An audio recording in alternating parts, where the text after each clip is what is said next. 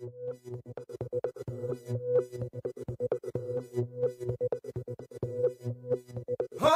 मारे या कोई मारे ना यहाँ अपनी भी थोड़ी अदा थोड़ा अंदाज है।